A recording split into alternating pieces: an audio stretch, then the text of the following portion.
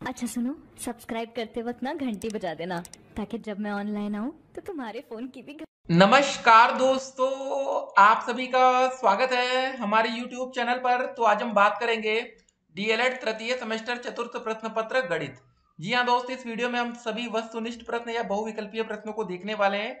तो पाँच नंबर का प्रश्न आपका बहुविकल्पी का, छह नंबर का प्रश्न अति लघुत्री का और चौदह नंबर के जो क्वेश्चन आते हैं, वो लघुत्री के आते हैं। टोटल आपका 25 नंबर का पेपर आता है तो आप इस वीडियो को शुरू से लेकर अंत तक देखेंगे। पार्ट टू में हम अति लघुत्री पार्ट थ्री में लघुत्री की भी वीडियो बना रखे हैं। उसको भी इसके बाद आपको देखना है। तो चलिए दोस्तों, आज का पहला प्रश्न देखते हैं, जो कि आपके पेपर में आ सकता है। X square plus x plus one by four का गुणनखंड आपको बताना है। तो इसमें दोस्तों देखिए कैसे करेंगे। ये दोस्तों, आप देखिए यहाँ पर एक हमारा फार्मूला दिख रहा होगा। ये ए स्क्वायर है वन बाई फोर को हम लिख सकते हैं। क्या लिख सकते हैं? वन बाई टू का स्क्वायर लिख सकते हैं ना?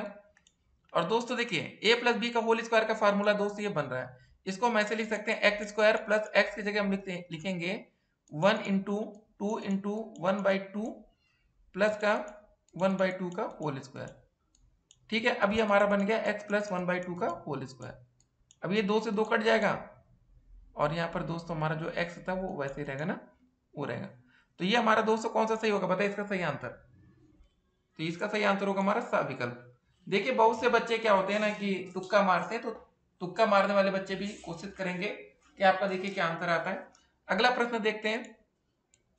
यदि दो, तीन और x का समांतर माध्य तीन है तो x का मान बताइए। चार विकल्प आपके सामने। देखिए, दो प्लस तीन प्लस एक्स का जो समांतर माध्य है, वो क्या है? हमारा तीन दे रखा है। यहाँ बटे में भी तीन हो जाएगा। तीन दो पाँच प्लस एक्स तीन त्रिक्का नौ। ठीक है एक्स का मान आ जाएगा हमारा नौ माइनस पाँच बराबर चार। सही आंसर हमारा अविकल्प अगला प्रश्न अब देखेंगे, इसको मिटाते हैं, कि दो बटे एक्स माइनस वन प्लस तीन बटे वन माइनस एक्स तिरक गुड़ा करिए सीधा था यहाँ पर, क्या हो जाएगा दोस्तों two into one minus x plus का दोस्त हो जाएगा three x minus one upon में दोस्तों क्या लिखा है? एक्स माइनस वन है, ठीक है? तो एक काम और करते जो ये लिखा है ना वन माइनस एक्स यहाँ माइनस कॉमन ले लीजिए तो यहाँ भी हो जाएगा एक्स माइनस वन ठीक है, या एक काम करते रुकिए दोस्तों, यहाँ पर हम लोग वन माइनस एक्स ही रहने देते हैं। क्यों? उसका भी दो, देखिए अभी आपको इसका फ़ायदा बताएँगे। तो ऊपर क्या होगा? मल्टीप्लाई करिए दो से अंदर तो क्या हो जाएगा? टू माइनस का टू एक्स, प्लस का दोस्तों थ्री एक्स, माइनस का थ्री। अपान में दोस्तों, जो लिखा है x minus one one minus x. ऊपर आ जाएगा दोस्तों, थ्री एक्स में से टू एक्स घटेगा, एक्स बचेगा। माइनस तीन में से दो घटेगा मतलब प्लस में ये ना, ये माइनस वन आ जाएगा। अपान में दोस्तों x minus one one minus x ठीक है? ये दोस्तों कट जाएगा। बचेगा कितना? One upon one minus x विकल्प में दिखा दिख नहीं रहा तो यहाँ क्या करेंगे? माइनस कॉमा लेंगे माइनस ऊपर वन आ जाएगा, नीचे x माइनस वन हो जाएगा। ये हमारा डी विकल्प यहाँ पर सही हो जाएगा। ठीक है? तो देखिए, थोड़े ट्रिकी क्वेश्चन आते हैं, जो कि पेपर में थोड़ा आपका समय भी बर्बाद करेंगे। तो इससे भी आपको बचना, सीखना। टाइम मैनेजमेंट सबसे इंपॉर्टेंट चीज़। अगला प्रश्न है, चार समानुपाती पदों के में मतलब मध्य पदों का जो गुणनखंड है, छत्तीस है, यदि बाय पदों में से एक पद तीन हो तो दूसरा बाय पद होगा। अब दोस्तों, जो मध्य पदों का गुणनखंड मतलब छत्तीस है तो बाय पदों का जो गुणनफल होगा, वो मान लेते एक पद तीन है, दूसरा मान लेते क्या है पी है। तो भाग करिए, तीन कम तीन तीन दो नीचे तो पी का मान आ गया बारह। तो जो दूसरा पद होगा, बारह होगा। सब विकल्प यहाँ पर करेक्ट आंसर। अगला प्रश्न देखते हैं। अब यहाँ पर दोस्तों, सबकी घाते दिखिए। तीन की घाते दो, चार की घाते दो और तीन की घाते दस, चार की घाते दस। तो गुड़ा में दो से मल्टीप्लाई रहता है तो घाते जुड़ जाती है ऊपर दोस्तों क्या हो जाएगा तीन की घाते दो तीन की घाते दस जोड़े तो तीन की घाते बारह अपान में दोस्तों चार की घाते दो चार की घाते दस चार की घात भी बारह हो जाएगा भाग का चिन्ह जब ये दोस्तों मल्टीप्लाई में होता है तो ये संख्या पलट जाती है तो ये हो जाएगा चार बटे तीन की घाते आठ आठ अब दोस्तों देखिए यहाँ पर चार की घाते आठ था यहाँ से कटेगा तो यहाँ बचेगा चार की घाते चार नीचे ये आठ यहाँ पर भी दोस्तों चार घात बचेगा यहाँ भी चार घात बचेगा मतलब तीन की घाते चार अपान चार की घाते चार। तीन की घाते चार का मतलब हो जाएगा तीन गुड़े तीन गुड़े तीन गुड़े तीन। चार की घाते चार का मतलब भी यही हो जाएगा। ठीक है? तो गुड़ा करेंगे तीन त्रिक का नौ, त्रिक सत्ताईस, त्रिक इक्यासी बटे दो सौ छप्पन। तो ये दोस्तों हमारा ब विकल्प यहाँ पर करेक्ट आंसर होगा। ठीक है? चलिए अगले प्रश्न में बढ़ते हैं। पूछा गया अनुपात का चिन्ह कैसा होता है बताइए। ये ब विकल्प आप देख रहे हैं, ये हमारा अनुपात का चिन्ह। अगला प्रश्न, समानुपात का चिन्ह क्या होता है? ये बताना है तो ये दोस्तों आप देख सकते हैं आ विकल्प ये करेक्ट आंसर है। फिर देखिए, दो संख्याओं का अनुपात आठ, अनुपात पाँच है, यदि छोटी संख्या दी गई है तो बड़ी संख्या में ज्ञात करनी है। तो ये कैसे होगा, बताइए। छोटी संख्या, देखिए दोस्तों, जो अनुपात दिया गया, आठ बटे पाँच दिया गया अब छोटी संख्या दोस्तों, क्या दिया गया है? बारह दशमलव पाँच। तो बड़ी संख्या एक्स मान लेते छोटी संख्या बारह दशमलव पाँच। छोटी के सामने छोटी, बड़ी सामने बड़ी। त्रियक गुड़ा कर दीजिए। आठ गुड़े बारह दशमलव पाँच, अपान में दोस्तों पाँच आएगा बराबर एक्स के। ठीक है, भाग कर लेंगे। एक दशमलव हटेगा, ज़ीरो आ जाएगा। पच्चीस दूनी पचास, पच्चीस पंजे एक सौ पच्चीस, दो चौके आठ एक्स का मान आ जाएगा चार पंजे बीस। ठीक है, सही आंसर आ जाएगा हमारा सविकल्प अगला प्रश्न है कि पाँच अनुपाते आठ और ग्यारह अनुपाते चार में कौन सा अनुपात बड़ा है, आपको ये बताना है। देखने में कितना ही छोटा प्रश्न लगता है, लेकिन पाँच बटे आठ। आठ से भाग के लिए कितनी बार जाएगा दोस्तों? ठीक है, और देखिए ग्यारह अनुपाते चार भी है। ग्यारह बटे चार मतलब ठीक है, ऐसे। इसको भाग करेंगे ग्यारह को चार से चार दूनी आठ तीन ज़ीरो। चार सकते अट्ठाईस, चार पंजे बीस। ये लगभग आएगा। अब आठ से इसमें भाग करेंगे दसमलव लगेगा। आठ छंग अड़तालीस। तो दोस्तों, सिंपल सी बात है, बड़ा ये आ गया। तो कौन सा अनुपात बड़ा ये बताना था तो ग्यारह अनुपात है चार। ठीक है, अगला प्रश्न देखते हैं। अनुलोम समानुपात में तीर की दिशा कैसी होती है आपको ये बताना है। तो नीचे की ओर होती है, ठीक है? यहाँ पर द विकल्प सही होगा। अगला प्रश्न, प्रतिलोम मानुपात में तीर की दिशा कैसी होती है? इसका अंतर दोस्तों जो होगा, वो क्या होगा बताइए? इसमें भी नीचे की ओर। फिर देखिए, अस्सी पैसे और चार रुपए का अनुपात आपको बताना है। ये दोस्तों हमारा अस्सी पैसे में, चार रुपए को हम पैसे में बदलेंगे तो चार गुड़े सौ हो जाएगा। तो चार सौ हो जाएगा। एक ज़ीरो ज़ीरो कटा आठ, एक आठ आठ पंच चालीस तो एक बटे पाँच, एक अनुपात है पाँच। ये दोस्त हमारा ब विकल्प करेक्ट आंसर अगला प्रश्न देखते हैं। 500 मीटर और 5 किलोमीटर का अनुपात। अब ये 500 मीटर है। अब 5 किलोमीटर को मतलब जब मीटर में बदलेंगे तो पाँच गुड़े एक हज़ार हो जाएगा। नीचे आ जाएगा हमारा पाँच हज़ार। दो ज़ीरो से दो ज़ीरो कटा पाँच एकम पाँच पाँच दाम पचास। तो एक बटे दस आ गया। सब विकल्प सही होगा। अगला प्रश्न है, चौदह नंबर। पैंतीस रुपए को तीन अनुपात चार के अनुपात में विभाजित करना है। तो दो सौ पैंतीस को हम, इसको जैसे जो अनुपात इसको हम थ्री एक्स और फोर एक्स मान लेते हैं, दोनों का जोड़ दो सौ जो हमारा पैंतीस है। यहाँ तो हो जाएगा सेवन एक्स बराबर पैंतीस तो यहाँ से एक्स का मान आ जाएगा सात पचे पैंतीस। एक्स का मान आ गया तो थ्री एक्स हमने पहला माना था तो तीन गुड़े पाँच कर देंगे तो पाँच तिहाई पंद्रह। फोर एक्स माने थे तो क्या हो जाएगा, दो सौ चार पंजे बीस।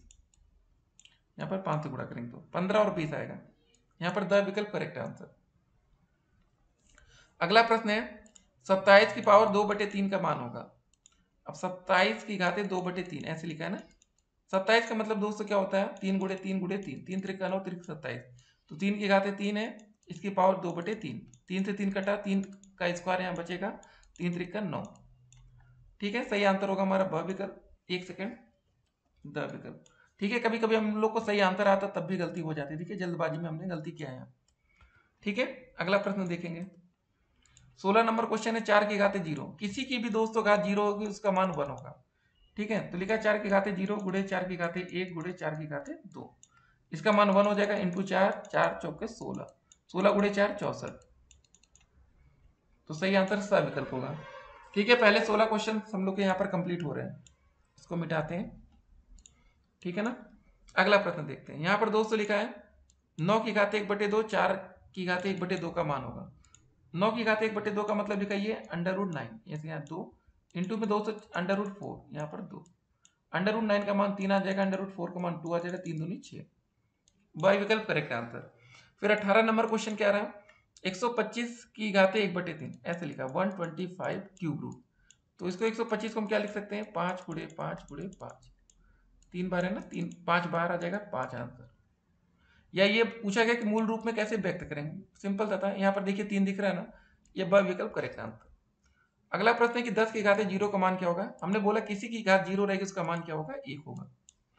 फिर लिखा दोस्तों चार की पावर तीन बटे दो। चार की पावर तीन बटे दो। मतलब चार को लिख सकते हैं दो की घाते दो इसकी पावर है तीन बटे दो। दो से दो कटेगा दो की पावर यहाँ पर तीन हो जाएगा। इसको लिख सकते हैं दो गुड़े दो गुड़े दो। दो दूनी चार दूनी आठ।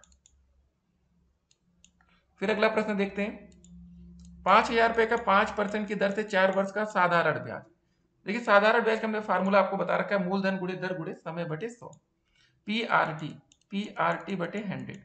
पी का मतलब प्रिंसिपल रेट आर का मतलब रेट और टी का मतलब टाइम यहाँ लिखिए, पाँच हज़ार गुड़े दर है पाँच गुड़े दोस्तों, समय चार वर्ष, बटे सौ। दो ज़ीरो दो ज़ीरो कटा, पाँच चौके बीस बीस गुड़े पचास, पाँच दूनी दस, एक हज़ार। ठीक है? ये हो जाएगा। हमारा सही आंसर होगा इक्कीस का अविकल्प। अगला प्रश्न देखेंगे। पाँच सौ रुपए का पाँच परसेंट वार्षिक चक वृद्धि ब्याज की दर से मिश्र धन बताना है। ठीक है? मिश्र धन। तो मिश्र धन का दोस्तों जो फार्मूला होता है ए बराबर होता है P one plus R by hundred की पावर टी पी का मान दोस्तों यहाँ पर हमारा हो जाएगा पाँच सौ। वन प्लस दोस्तों आर का मान देखिए यहाँ पर पाँच परसेंट है। पाँच बटे सौ ई पावर टू।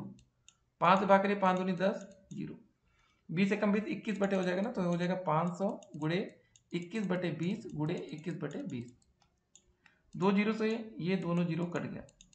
सॉल्व करने पर दोस्तों हमारा आएगा ये पाँच सौ इक्यावन दशमलव दो पाँच। तो हमारा यहाँ पर ब विकल्प एकदम करेक्ट आंसर होगा। अगला प्रश्न है, दो सौ रुपये का दस परसेंट वार्षिक ब्याज की दर से दो वर्ष का चेक वृद्धि ब्याज ज्ञात करना है। इस बार हमें मिश्र धन नहीं, चेक वृद्धि ब्याज। तो देखिए, पहले हम लोग इसका मिश्र धन निकाल लेते हैं, उसके बाद हम चक्रवृद्धि मतलब ब्याज भी निकालेंगे।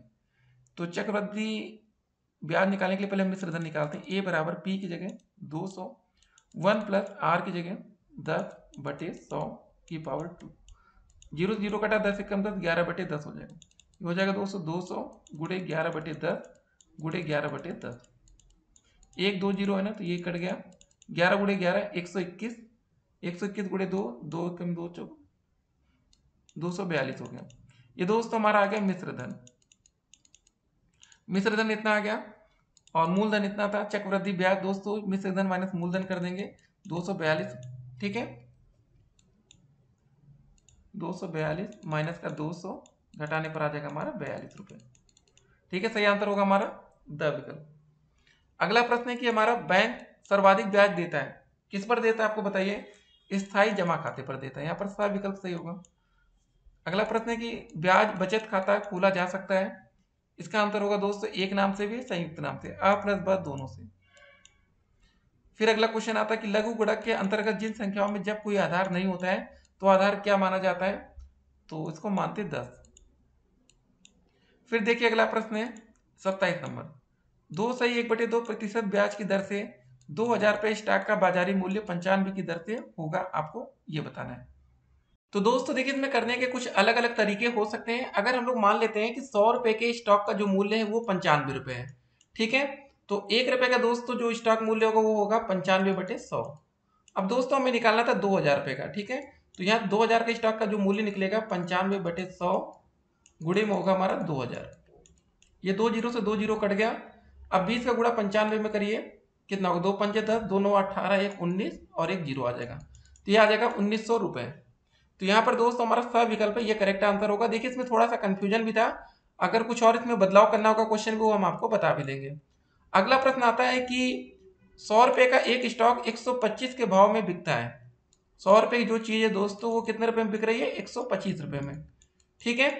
तो वास्तविक ब्याज की दर आपको बतानी है। ठीक है? तो ये क्वेश्चन दोस्तों हम आपके लिए छोड़ रहे हैं। आप लोग को ये क्वेश्चन करना है। अगर आप नहीं कर पाएँगे तो कमेंट करेंगे। इसका उत्तर दोस्तों हम आपको अलग से वीडियो बनाकर देंगे। एक दो क्वेश्चन आपके लिए होमवर्क रहना चाहिए, ठीक है? नहीं तो बहुत से बच्चे वीडियो को देखते नहीं है और कुछ बच्चे वीडियो देख लेते तो कमेंट नहीं करते तीसरी बहाने वो कमेंट करेंगे। अब देखते हैं आज का अगला प्रश्न। तो दोस्तों हमारा उनतीस नंबर क्वेश्चन क्या रहा है कि यदि ए बराबर दिया गया है बी बराबर दिया गया तो हमें ए इंटरसेक्शन बी बताना है। मतलब जो दोनों में कॉमन हो। देखिए ए में क्या दिख रहा है? ए बी सी डी यहाँ पर एक्स वाई है यहाँ पर ए दिख रहा है ए तो ए इंटरसेक्शन बी का जो मान आ जाएगा, क्या आ जाएगा? हमारा ए आ जाएगा। ठीक है, हमारा सही आंसर होगा सा विकल्प अगला प्रश्न यहाँ पर दिया गया है। ए का मान दिया गया बी का मान दिया गया बी में से ए को घटाना है। अब बी में दोस्तों जरा देखते हैं, तीन छः नौ, बारह है। यहाँ पर तीन भी है, यहाँ पर सिक्स आपको दिख रहा नहीं दिख रहा। सिक्स हो गया, नौ भी है और बारह छः और बारह। ठीक है तो हमारा जो सही आंसर है बी माइनस ए तो यहाँ बचेगा छः और बारह। क्योंकि हम बी में से ए को घटा रहे हैं। तो जो यहाँ ए में नहीं होगा, वही यहाँ बचेगा। अगला प्रश्न है माइनस एक और प्लस एक के बीच धन पूर्णांक कौन सा समुच्चय है? इसका सही आंसर आएगा दोस्त, हमारा कौन सा रिक्त समुच्चय अगला प्रश्न देखिए, समुच्चय ए बी का एक समुच्चय बताइए। क्या हो जाएगा दोस्तों? बी ए बी हो जाएगा हमारा। ठीक है ना?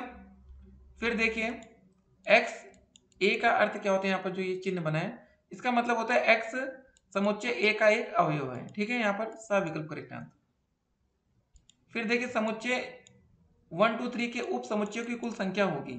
उप समुच्चय दोस्तों क्या क्या इसके होंगे, पहले देखिए बताइए। एक हो जाएगा फाइव फिर होगा हमारा वन फिर दोस्त हमारा हो जाएगा टू हो जाएगा थ्री और उसके बाद दोस्तों देखिए वन और टू भी हो जाएगा। फिर हमारा हो जाएगा टू और थ्री फिर होगा हमारा थ्री और वन और दो से इसका जो उप समुच्चय ये खुद भी होगा। मतलब वन टू थ्री टोटल संख्या गिनिए एक, दो, तीन, चार, पाँच छः सात, आठ। कुल संख्या दोस्त हमारी होगी आठ। अगला प्रश्न यदि ए बराबर दिया गया बी बराबर दिया गया तो ए इंटरसेक्शन बी तीन, पाँच, चार छः कोई मैच नहीं कर रहा तो सही आंसर होगा हमारा अविकल्प ठीक है? अगला प्रश्न आता है गुणनखंड का। X square minus eight x plus सात के गुणनखंड बताइए। हमने क्या बोला है? एक्स स्क्वायर माइनस का एट एक्स प्लस का सात। फ़र्स्ट और लास्ट का मल्टीप्लाई करिए, सात एक कम सात। और जोड़ने पर दोस्त अगर ये चिन्ह, देखिए ये वाला। अगर ये चिन्ह प्लस का है तो जोड़ने पर आठ आना चाहिए। तो हो जाएगा एक्स स्क्वायर माइनस का सात एकम सात सात एक आठ होता ना सेवन एक्स माइनस का एक्स प्लस का सेवन यहाँ पर एक्स कॉमन हो जाएगा एक्स माइनस सात बचेगा। माइनस वन कॉमन होगा एक्स माइनस सात बचेगा। एक्स माइनस सात इधर भी इधर भी। है दोनों तरफ़ से दोस्तों, हमारा एक्स माइनस सात कॉमन हो जाएगा, बचेगा कितना? एक्स माइनस वन तो इसका सही आंसर होगा एक्स माइनस सात एक्स माइनस वन ये देखिए सब विकल्प एकदम करेक्ट आंसर है। अगला प्रश्न देखेंगे। Six, x square minus x minus पंद्रह के गुणनखंड आपको बताना है। बहुत ही अच्छा प्रश्न है। हमने क्या बोला दोस्त, अभी फ़र्स्ट और लास्ट का मल्टीप्लाई करिए। पंद्रह गुड़े छः पंद्रह छक्का नब्बे। दोस्त, यहाँ पर माइनस के चिन्ह है पंद्रह से पहले तो घटाने पर कितना आना चाहिए? यहाँ एक्स का जो भी होगा वन आना चाहिए। तो दस गुड़े नौ करिए, दस नौ नब्बे, दस में से नौ घटेगा, एक बचेगा। ठीक है? तो इसमें क्या लिख सकते हैं? सिक्स एक्स स्क्वायर, देखिए पहले पूरा लिख लीजिए, क्वेश्चन। हाँ तो सिक्स एक्स स्क्वायर माइनस का दोस्तों टेन एक्स प्लस का नाइन एक्स माइनस का पंद्रह। देखिए दस में से नौ घटेगा माइनस का वन एक्स बचेगा ना। यहाँ से दोस्तों हमारा कॉमन क्या होगा? ये बताइए आप लोग पहले। तो यहाँ से हमारा जो कॉमन होगा, टू एक्स कॉमन होगा। दो तीन छः एक्स बचेगा माइनस फाइव। प्लस दोस्त यहाँ पर हम तीन कॉमन लेंगे। तीन तरीक का नौ एक्स, तीन पच्चे पंद्रह। थ्री एक्स माइनस फाइव, इधर भी इधर भी। थ्री एक्स माइनस फाइव दोनों तरफ़ से कॉमन। यहाँ पर बचेगा टू एक्स प्लस का थ्री। देखते हैं टू एक्स प्लस थ्री यहाँ पर दिख गया। उसके बाद दोस्तों थ्री एक्स माइनस फाइव ये देखिए द विकल्प एकदम करेक्ट आंसर तो ऐसे दोस्तों 25 में 25 नंबर नहीं आता, उसके लिए आपको थोड़ा संघर्ष करना पड़ेगा। ठीक है? कुछ क्वेश्चन आसान होंगे, कुछ क्वेश्चन कठिन होंगे, लेकिन कोई भी प्रश्न एक मिनट से ज़्यादा का नहीं होना चाहिए। अगला प्रश्न आता है, अड़तीस नंबर दस दशमलव पाँच का स्क्वायर का मान बताइए। इसको आप दोस्तों ऐसे लिखिए, दस दशमलव ज़ीरो दशमलव पाँच का होल स्क्वायर ऐसे बनाइए इसको। दस का स्क्वायर सौ होता है। ज़ीरो पॉइंट फाइव का स्क्वायर हो जाएगा। Zero point two five. Plus दोस्तों, दस दूनी बीस। ठीक है, दस दूनी बीस। मतलब इसको ऐसे लिखेंगे। दस गुड़े ज़ीरो दशमलव पाँच गुड़े दो। तो हो गया सौ प्लस का ज़ीरो दशमलव पाँच। दस दूनी बीस और बीस पंजे सौ। तो यहाँ पर जोड़ने पर आ जाएगा टेन पॉइंट दशमलव। सौ में दस जोड़ेंगे, एक सौ दस हो जाएगा। दशमलव में दो सौ दो पाँच। ठीक है, सही आंसर आएगा एक सौ दस दशमलव दो पाँच। अगला प्रश्न देखते हैं, बहुत ही अच्छा प्रश्न है। अब देखिए, पूरा 105 का आप होल स्क्वायर करेंगे, ज़्यादा समय लगेगा। इसमें समय नहीं लगता, लेकिन वीडियो बनाने में आपको लग रहा होगा। अब देखिए, इसमें जरा पाँच दशमलव चार एक इधर भी इधर भी इधर भी।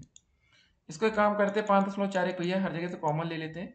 यहाँ बचेगा चार दशमलव तीन छः माइनस का तीन दशमलव दो तीन, फिर दोस्तों माइनस का पाँच दशमलव चार एक। ठीक है? यहाँ पर दोस्तों चार दशमलव तीन छः था। ये वाला। यहाँ तीन दशमलव दो तीन था। ठीक है? ये हो गया। और रुकिए दोस्तों, यहाँ लास्ट में वन पॉइंट वन थ्री था ना? ये थोड़ी गलती हो रही थी। वन पॉइंट वन थ्री अब दोस्तों पाँच दशमलव चार एक ये हो गया। चार दशमलव तीन छः ये हो गया। अब ये माइनस माइनस क्या होगा? जुड़ जाएगा। तीन तीन छः हो जाएगा। दो एक तीन हो जाएगा। तीन एक चार अब दोस्तों देखिए चार दशमलव तीन छः में से ये घटेगा तो क्या हो जाएगा यहाँ पर? पाँच दशमलव चार एक इंटू में ज़ीरो हो जाएगा। पूरा वैल्यू ज़ीरो। ठीक है, द विकल्प करेक्ट आंसर चलिए अगले प्रश्न में बढ़ते हैं। भाज्य बराबर दोस्तों क्या होता है? भाजक गुड़े भागफल प्लस शेषफल। यहाँ पर सब विकल्प एकदम करेक्ट आंसर अगला प्रश्न देखते हैं। प्रथम पाँच अभाज्य संख्याओं की माध्यिका प्रथम पाँच अभाज्य संख्या कौन कौन से होंगे? दो होगा। ठीक है।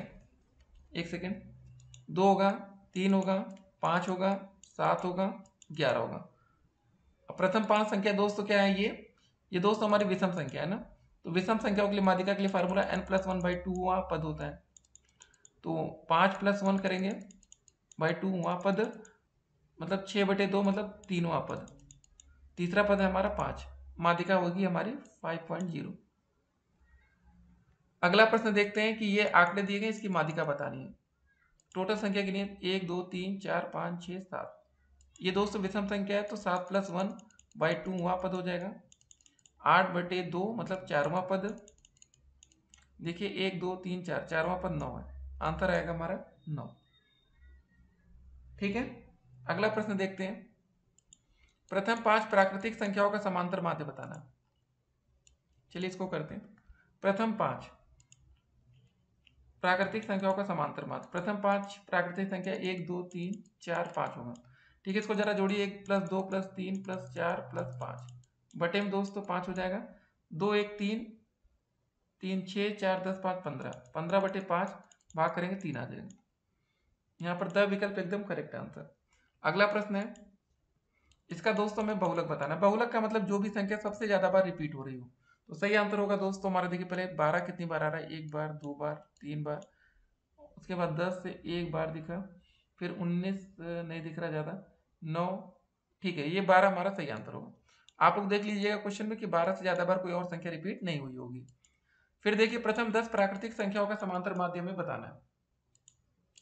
प्रथम दस प्राकृतिक संख्या है मतलब वन प्लस टू ऐसे जोड़ेंगे, फिर से तीन प्लस चार प्लस पाँच प्लस छ, सात आठ, नौ, दस। बटे में दोस्तों क्या होगा? दस होगा। दस है ना इसलिए। दो, एक, तीन तीन छः चार, दस, पंद्रह। ठीक है? छः इक्कीस, सात, अट्ठाईस, आठ, छत्तीस। नौ, पैंतालीस, दस, पचपन। पचपन बटे दोस्तों दस हो जाएगा, भाग करेंगे, पाँच दशमलव पाँच आएगा। यही आंसर। तो ये हमारा पैंतालीस का पहला विकल्प। ठीक है? अगले प्रश्न में बढ़ते हैं। यदि प्रेक्षणों की संख्या तेरह है, उसका माध्य नौ है। दोस्तों, प्रेक्षण का संख्या तेरह है। माध्य नौ है तो प्रेक्षणों का जो योगफल आएगा, तेरह गुड़े नौ कर देंगे, तेरह नौ है एक सौ सत्रह। द विकल्प एकदम करेक्ट आंसर ठीक है? चलिए इसको मिटाते हुए चले, क्योंकि भैया क्वेश्चन की लाइन लगी है। एक घन का जो हमारा प्रश्न है, चौबीस वर्ग सेंटीमीटर। तो दोस्तों, एक फार्मूला पढ़ा, हमने सिक्स ए स्क्वायर बराबर ट्वेंटी फोर हो जाएगा ए स्क्वायर बराबर आ जाएगा, छह से भाग करेंगे, चार। ए का मान आ जाएगा अंडर रूट चार, बराबर ए का मान दो आ गया। ठीक है? ए का मान आ गया, घन का आयतन। तो ये दोस्तों हमारी भुजा आ गई तो इसका आयतन निकालने के लिए टू का क्यूब कर देंगे तो दो दुनी चार दुनी आठ। टू का क्यूब, ये आठ। आठ सेंटीमीटर क्यूब आ जाएगा। ठीक है, सैतालीस का पहला। अगला प्रश्न आता है, एक लंबवृत्तीय बेलन की ऊंचाई दी गई दोस्तों। त्रिज्या पता है तो बेलन का आयतन। बेलन का आयतन का जो फार्मूला होता है, वो होता है pi r square h. Pi दोस्तों वैसे रहने देते हैं, जो त्रिज्या तीन है, तीन का स्क्वायर कर देते हैं। एच का मान दोस्तों छः हो जाएगा। तीन तरीक का नौ नौ छक चौवन। चौवन पाई घन सेंटीमीटर। ठीक है, हमारा ब विकल्प एकदम करेक्ट आंसर अब बढ़ते हैं आज के अगले प्रश्न की तरफ़। देख सकते हैं दोस्तों, लगातार हमारे सारे क्वेश्चन सही हो रहे हैं। तो आप लोग भी जब पेपर में ऐसी प्रैक्टिस के साथ उतरेंगे ना तो फिर आपको भी मज़ा आने वाली है। घन का दोस्तों में आयतन पता है, घन की कोर बतानी है। अब दोस्तों, घन का आयतन का फार्मूला क्या होता है, बताइए पहले।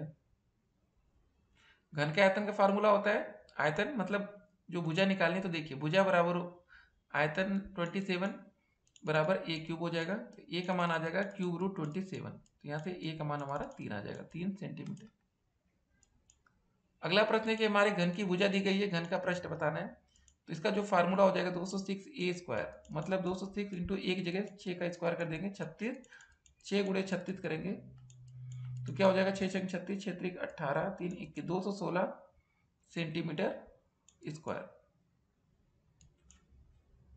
ठीक है? अगला प्रश्न देखते हैं। घन का विकट दिया गया है तो आयतन बताना, बहुत ही अच्छा प्रश्न है। अगर दोस्तों हमें कभी घन का विकट पता होगा तो इसका जो फार्मूला होता है, वो होता है अंडर रूट थ्री एक्स बराबर विकट दिया गया चार under root three. Root three ये, अंडर रूट थ्री से कट गया, एक्स बराबर चार सेंटीमीटर ये भुजा आ गई। आयतन बताना तो मतलब आयतन के लिए फार्मूला पता हो जाएगा हमारा, चार का, हो जाएगा क्यूब हो जाएगा चार गुड़े चार गुड़े चार। चार चौके सोलह चौके चौसठ सेंटीमीटर क्यूब। ठीक है, ये सा विकल्प। अगला प्रश्न है, एक कमरे के फर्श का क्षेत्रफल दिया गया है, ऊंचाई पता है, कमरे का आयतन। तो कमरे का आयतन का दोस्तों जो फार्मूला होगा, जो क्षेत्रफल इंटू ऊंचाई मतलब अड़तालीस गुड़े पाँच कर देंगे पनो अठे चालीस, पाँचों के बीस, चार चौबीस। घन मीटर। दो सौ चालीस। अगला प्रश्न है, व्रत की स्पर्श रेखा वृत्त की त्रिज्या के साथ कौन सा कोण बनाती है? सबको पता होगा, नब्बे नहीं पता तो याद कर लेना है। आर त्रिज्या वाले किसी अर्धव्रत का परिमाप बताइए। बहुत ही अच्छा प्रश्न है। एक सेकेंड दोस्तों। ठीक है? तो हर क्वेश्चन हम लोग फिगर के साथ भी करेंगे।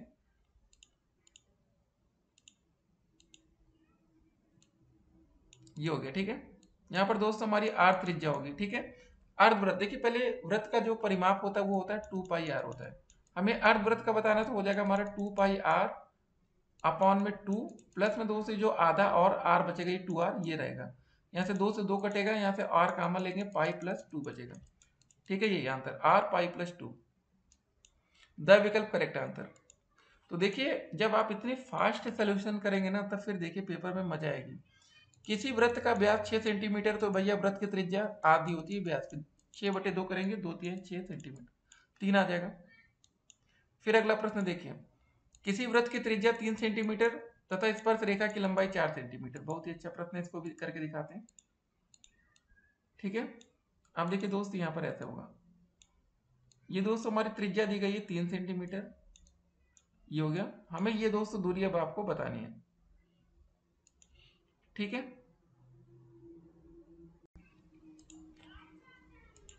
तो दो से एक दूरी हमारी चार हो जाएगी, देखिए। तो यहाँ पर हम पाइथागोरस प्रमेय लगाएँगे तो हो जाएगा हमारा तीन के स्क्वायर प्लस चार के स्क्वायर। बराबर दो से ये दूरी हो जाएगी। तो हो जाएगा हमारा तीन के स्क्वायर नाइन प्लस चार के स्क्वायर सोलह। ये अंडर रूट में आ जाएगा दोस्तों, हो जाएगा हमारा अंडर रूट पच्चीस, आंसर आएगा पाँच सेंटीमीटर। ठीक है सब विकल्प एकदम करेक्ट आंसर होगा यहाँ पर हमारा। उसके बाद आज का अगला प्रश्न देखते हैं। ये दोस्तों देखिए, लिखा लॉग ये देखिए ऐसे लिखा था क्वेश्चन लॉग टेन बेस में ऐसे है पावर फोर तो यहाँ पर दोस्त हो जाएगा चार, आगे आ जाएगा लॉग टेन ऐसे, ये। ये दोस्तों लॉग टेन टेन ये हो जाएगा वन तो ये हो जाएगा चार गुड़े एक, बराबर आंसर आएगा चार। फिर अगला प्रश्न देखते हैं कि एक घन सेंटीमीटर तांबे के टुकड़े को पिघलाकर एक मिलीमीटर मोटा तार खींचा गया है तो तार की दोस्तों में लंबाई बतानी है। तो इसका जो दोस्तों सही आंसर आएगा, वो 120 सेंटीमीटर रहेगा ये आप लोग करके बताएँगे कहते हैं देखिए, कुछ क्वेश्चन हम आपके लिए भी देंगे। एज ए होमवर्क ठीक है? नहीं तो बहुत से बच्चे वीडियो को शुरू से लेकर अंत तक देख लेंगे, फिर कहेंगे, सर, हमें कुछ समझ में नहीं आया। तो थोड़ी प्रैक्टिस आप लोग करेंगे, नहीं आएगा कमेंट करेंगे, उसके बाद इसका भी सोल्यूशन अलग से आएगा। अगला प्रश्न फोर एक्स स्क्वायर प्लस बारह एक्स वाई में क्या जोड़े कि ये पूर्ण वर्ग बन जाए? अब दोस्तों, विकल्प से इसका आंसर निकाल सकते हैं। देखिए फोर एक्स स्क्वायर है ना, ये बारह एक्स वाई इसको दोस्तों लिख सकते हैं टू एक्स का होल स्क्वायर प्लस दोस्तों इसको लिख सकते हैं टू इंटू टू एक्स ठीक है, अब क्या बच रहा है दोस्त यहाँ पर? दो दूनी चार एक्स मतलब यहाँ पर दोस्तों मल्टीप्लाई के लिए बच रहा है तीन वाई तो यहाँ पर दोस्तों तीन वाई का होल स्क्वायर करें तो कितना हो जाएगा? मतलब तीन वाई कैसे स्क्वायर लिख लेंगे। तो हो जाएगा नाइन वाई स्क्वायर तो क्या जोड़े के पूर्ण वर्ग बन जाए तो सिंपल सा आंसर आएगा नाइन वाई स्क्वायर। ठीक है? हमारा दोस्तों ये वाला विकल्प करेक्ट आंसर होगा। अब चलते हैं आज के अगले प्रश्न की तरफ़।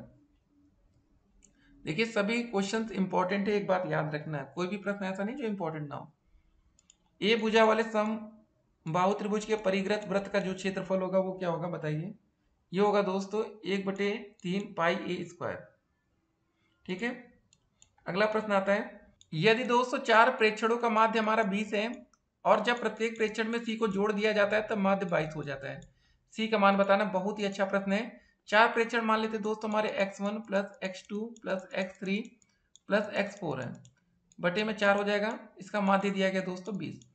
तो यहाँ से हम x one plus x two plus x three plus x four का मान निकालेंगे तो बीस गुड़े चार अस्सी हो जाएगा। ठीक है? इतना हो गया।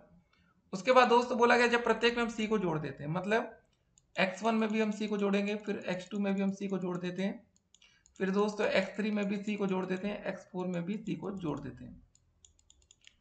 तो दोस्तों बटे में चार रहेगा हमारा फिर से, और हमारा दोस्तों नया माध्य बाईस हो जाता है ट्वेंटी टू तो दोस्तों यहाँ पर चार का मल्टीप्लाई उधर कर दीजिए, पहले कितना हो जाएगा, बाईस चौके अट्ठासी मतलब इसको लिखेंगे x one plus x two plus x three plus x four सी चार बार है तो यहाँ हो जाएगा हमारा फोर सी बराबर दोस्त हो जाएगा एट्टी एट। अब जरा देखिए x one, x two, x three, x four की जो वैल्यू यहाँ पर है, अस्सी है ना? यहाँ पर रखेंगे अस्सी प्लस का हो जाएगा फोर सी बराबर एट्टी एट। या दोस्तों, हमारा फोर सी बराबर हो जाएगा, अट्ठासी में से अस्सी घटेगा, आठ आएगा। सी बराबर हो जाएगा आठ बटे चार तो सी का मान आ जाएगा दो। ठीक है, इकसठ का हमारा ब विकल्प एकदम करेक्ट आंसर होगा। हो गया? चलिए इसको मिटाते हैं, आगे बढ़ते हैं। अच्छा प्रश्न था, ऐसे क्वेश्चन पेपर में आपको फंसा सकते हैं। बासठ नंबर क्वेश्चन बीस संख्याओं का समांतर माध्य बारह है तो इन संख्याओं का योग। सिंपल था, क्या करेंगे? बीस गुड़े बारह। बारह दूनी चौबीस, दो सौ चालीस। आप विकल्प करेक्ट आंसर। अगला प्रश्न आता है हमारा, कि a minus one a plus five a plus ग्यारह ए प्लस सत्रह का समांतर माध्य दस है तो a का मान। कितनी टोटल संख्या? एक, दो, तीन, चार। तो लिखेंगे यहाँ पर a माइनस वन प्लस में दोस्तों ए प्लस पाँच, फिर हमारा आ रहा है ए प्लस में ग्यारह, फिर प्लस में ए प्लस सत्रह। बटे में दोस्तों हमारा चार आ जाएगा, बराबर दोस्त हो जाएगा हमारा दस। ए कितनी बार है? चार बार है तो हो जाएगा फोर ए उसके बाद दोस्तों आप देख सकते हैं, यहाँ पर दोस्तों हम लोग सत्रह, ग्यारह जोड़ेंगे तो हो जाएगा अट्ठाईस, पाँच, तैतीस तैतीस में से एक गया बत्तीस। तो ये हो जाएगा दोस्तों प्लस का बत्तीस अपॉन में फोर बराबर दस। दस का दोस्तों मल्टीप्लाई इधर चार से करेंगे तो हो जाएगा चालीस ना तो फोर ए प्लस बत्तीस बराबर हो जाएगा चालीस। ठीक है? तो यहाँ से दोस्तों फोर ए बराबर चालीस में से बत्तीस घटेगा, आठ बचेगा ए बराबर आ जाएगा आठ बटे चार। चार दूनी आठ। तो सही आंसर दोस्त हमारा ए का मान दो आ जाएगा ना। तो कौन सा सही होगा? यहाँ पर प्लस टू सब विकल्प करेक्ट आंसर है। अगला प्रश्न देखते हैं। एक व्रत की त्रिज्या दी गई है पाँच सेंटीमीटर बाय बिंदु से व्रत पर खींची गई स्पर्श रेखा की माप बारह है तो बाय बिंदु से दोस्तों व्रत के केंद्र की माप होगी। ठीक है, बहुत ही अच्छा प्रश्न बताइए। अभी दोस्तों, हमने एक ऐसा ही प्रश्न अभी थोड़ी देर पहले देखा भी था। ठीक है तो यहाँ पर दोस्तों, हमारा एक व्रत होगा, यहाँ पर जो त्रिज्या दी गई है। ठीक है बाय बिंदु से दोस्तों कोई रेखा खींची जाती है तो यहाँ पर दोस्तों, अब हम लोग इसका सोल्यूशन करेंगे। तो यहाँ पर भी दोस्तों, हमारा हो जाएगा, ये फाइव का स्क्वायर करेंगे। और बारह का स्क्वायर करके जोड़ लेंगे, ठीक है? फाइव का स्क्वायर प्लस बारह का स्क्वायर कितना हो जाएगा? पच्चीस प्लस एक सौ चौवालीस अंडर रूट का इसको सॉल्यूशन करेंगे तो आ जाएगा वन सिक्सटी नाइन। इसको सोल्यूशन करेंगे तो आंसर आ जाएगा तेरह, ठीक है? तो सही आंसर होगा हमारा ब विकल्प तेरह सेंटीमीटर। फिर हमारा अगला क्वेश्चन क्या रहा है यहाँ पर? पैंसठ नंबर जरा देखते हैं। तीस बी, एक सौ बीस, नब्बे, तीन सौ समान अनुपात में नहीं है क्योंकि देखिए दोस्तों, जो बाय पदों का गुणनफल है, मध्य पदों का गुणनफल के बराबर नहीं है। सही आंसर हमारा ब विकल्प होगा। ठीक है? अगला प्रश्न देखते हैं। चित्र में ओ व्रत का केंद्र है, ए, ओ, बी, अस्सी अंश। ये कोड अस्सी अंश है। तो दोस्तों, ये कोड कितना हो जाएगा? इसको हम तीन सौ साठ में से अस्सी घटाएँगे।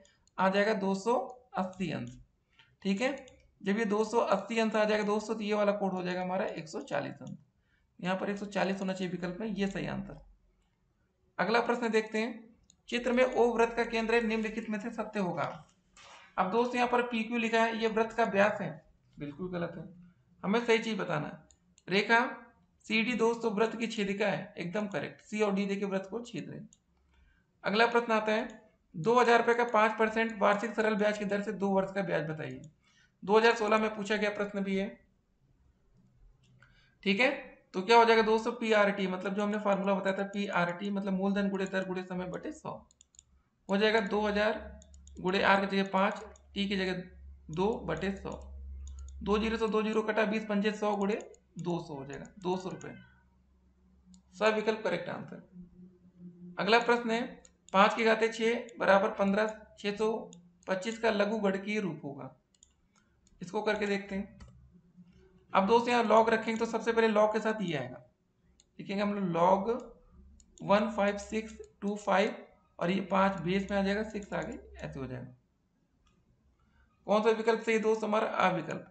अगला प्रश्न है, ये समानुपात वाला। देखिए जो मध्य का गुणनफल और बाय का गुणनफल। तो ये हो जाएगा दोस्त हमारा सोलह एक्स बराबर हो जाएगा अठी चौसठ। ठीक है सिक्सटी फोर हो जाएगा। ठीक है? अब दोस्त यहाँ से सोलह कम सोलह सोलह चौके चौसठ। तो एक्स का मान आ जाएगा हमारा चार। अगला प्रश्न इकहत्तर नंबर। व्रत के चाप और उसकी जीवा द्वारा घिरा हुआ क्षेत्र कहलाता है। इसको बोलते हैं लोग खंड अगला प्रश्न आता है। Five x y four x z five x q का एक उभयनिष्ठ गुणनखंड होगा। इसको मिटाते हैं पहले। अब दोस्तों देखिए इस प्रश्न को पहले लिखते हैं हम लोग। फाइव एक्स वाई प्लस का फोर एक्स जेड प्लस का दोस्तों फाइव एक्स क्यू यहाँ से एक्स कॉमन ले लेंगे, बचेगा फाइव वाई प्लस का फोर जेड प्लस का दोस्तों फाइव क्यू ठीक है? उभय निष्ठ जो भी हमारा होगा गुणनखंड, ये एक्स होगा। अगला प्रश्न आता है कि किसी घनाभ में शीर्ष होते हैं। देखिए दोस्तों, जो घनाभ में शीर्ष होते हैं, उनकी संख्या होती है आठ। ठीक है? एक बात और आपको बता दें, घन में जरा लिख लीजिएगा। घन में दोस्तों आठ शीर्ष होते हैं और फलक की संख्या जो घन में होती है, वो होती है छ और कोरों की संख्या दोस्तों जो होती है, वो होती है बारह। अगला प्रश्न है, परिमेय संख्या तीन बटे पाँच से बड़ी परिमेय संख्या। तीन बटे पाँच का मतलब दोस्तों पाँच से भाग करेंगे दशमलव आ गया दशमलव छः पाँच अंक तीस। अब दस से भाग करेंगे दोस्तों, यहाँ ज़ीरो दशमलव चार है, ये माइनस में ज़ीरो दशमलव चार है, भाग करेंगे ज़ीरो दशमलव छः है, ये आएगा ज़ीरो दशमलव सात। बड़ी संख्या यही होगी ना, ज़ीरो दशमलव छः से बड़ी संख्या क्या है, ज़ीरो दशमलव सात। ज़ीरो दशमलव सात। अगला प्रश्न आता है, ये दोस्त यहाँ पर भाग का चिन्ह था। लिखा है कि x power minus six upon x power minus seven ये दोस्त हो जाएगा x power minus six plus में सेवन आएगा एक्स पावर वन सब विकल्प करेक्ट आंसर होगा। अगला प्रश्न है x square minus four upon x plus two का होल स्क्वायर का न्यूनतम परिमेय मान होगा। इसको दोस्तों लिख सकते हैं एक्स स्क्वायर फोर को लिख सकते हैं टू का स्क्वायर अपॉन में एक्स प्लस टू का होल स्क्वायर ये हो गया ए स्क्वायर माने बी स्क्वायर तो मतलब a plus b a minus b upon में दोस्तों एक्स प्लस टू का होल स्क्वायर एक दोस्तों ये कट जाएगा, बचेगा कितना? X minus two upon x plus two यहाँ पर ब विकल्प एकदम करेक्ट आंसर अगला प्रश्न है कि एक घन की कोर चार सेंटीमीटर हो तो उस घन में कोरों की संख्या। दोस्तों, घन में जो कोरों की संख्या होती है, उसकी ये घन की कोर की लंबाई पर डिपेंड नहीं करती है। तो इसका आंसर सीधा सा बारह आएगा भी हमने आपको बताया था। अगला दोस्तों प्रश्न है लॉग बेस में ये तेरह। वन सिक्सटी नाइन ऐसे लिखा है। इसका दोस्तों देखिए लॉग लिख सकते हैं, तेरह। एक सौ उनहत्तर का दोस्तों रुकिए, लिखिए एक मिनट। एक सौ उनहत्तर को हम लिख सकते हैं, तेरह के स्क्वायर ना? तो यहाँ पर ऐसे होगा लॉग तेरह, हो जाएगा तेरह का स्क्वायर ये दोस्तों दो आगे आ जाएगा तो टू लॉग थर्टीन बेस में तेरह। ये दोस्तों जो तेरह तेरह, ये जब कभी सेम हो जाएगा तो इसका मान हमेशा वन होगा। तो टू इंटू वन मतलब आंसर दो आएगा। अगला प्रश्न देखते हैं।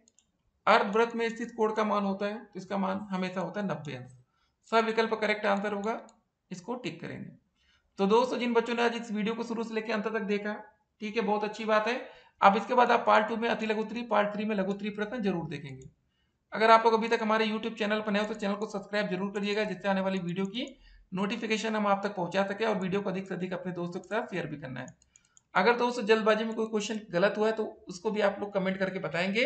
और आप लोग हमारे व्हाट्सएप से जुड़ने के लिए नंबर लिख लीजिए eight seven three eight zero seven nine two one six. सत्तासी अड़तीस ज़ीरो सात बानवे सोलह। टेलीग्राम चैनल का लिंक कमेंट बॉक्स में दिया गया, बिल्कुल फ्री में ज्वाइन हुई है उससे। फिर मिलते हैं स्टे कनेक्टेड है नाइस